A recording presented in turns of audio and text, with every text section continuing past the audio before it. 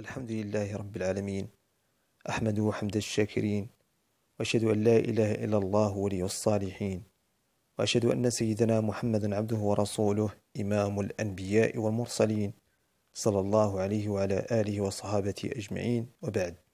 أيها الأحباب الكرام إن الله عز وجل أعزنا بالإسلام وأنعم علينا في ظله بخير نظام فاختارت العناية الإلهية الحكيمة الأسرة العلوية الشريفة لتستلم مقاليد الأمر لهذه البلاد المباركة فبايعها الشعب المغربي الأبي على الطاعة والولاء والنصرة والوفاء.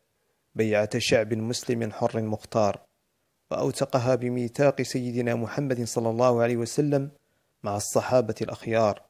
تلك البيعة التي جاء ذكرها في كتاب الله عز وجل حين خاطب الحق سبحانه نبيه صلى الله عليه وسلم بقوله إن الذين يبايعونك إنما يبايعون الله.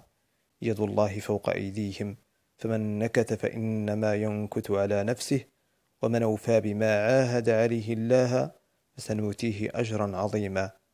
إنها طاعة دينية وأمانة إسلامية وعهد وثيق يجمع بين الراعي والرعية لمن ولاه الله مقاليد الأمة وتدبير أمورها ويعتبر الحفاظ عليها والوفاء بها تدينا لله وعبادة وطاعة ومحبة لله ولرسوله.